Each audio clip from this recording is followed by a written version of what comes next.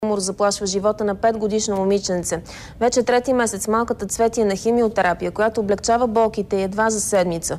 Детето трябва да претърпи сложна операция в Израел, която струва 80 000 евро. Семейството на Цвети няма тази възможност и затова се обръщат към всички, които могат да помогнат детето им да живее. Това е Цвети. Жизнено, красиво и умно дете. Днес тя навърши 5 годинки. До края на август желание е ходила на детска градина и още си спомня последните случки и имената на децата от групата.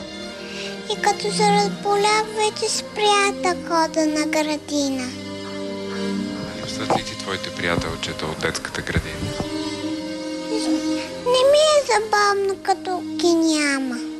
Повече от всичко, Цвети иска да оздравее, но да остане малка, за да си играе с децата. В края на август детето се оплаква от болки в ухото. Родителите минават през всички столични болници, лекарите поставят различни диагнози, но най-накрая в Пирогов е установено туморно образование зад лявото ухо в меките тъкани.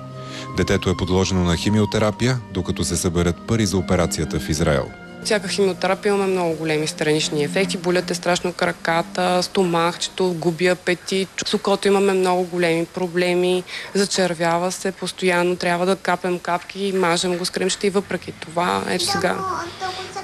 Сега е залепено, всяка нощ е залепено, сега вече се налага и през деня. Просто всяко отлагане ще доведе до допълнително осложняване на състоянието. Вярваме, че, че това може да, да стане, че, че това е лечимо, защото има такива излекувани деца. Просто не мога да спя. През нощта само малко спях и после, и после ревнах и се, и се ревях от болка. Като едно послушно дете, Цвети е получила много подаръци за коледа и нова година. Аз нищо не съм искала на нова година. На нова година исках само всичките деца да оздравеят.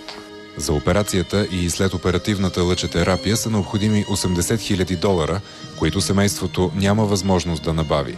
Затова родителите се обръщат към всеки, който е съпричастен към случая и има възможност и желание да помогне с финансови средства.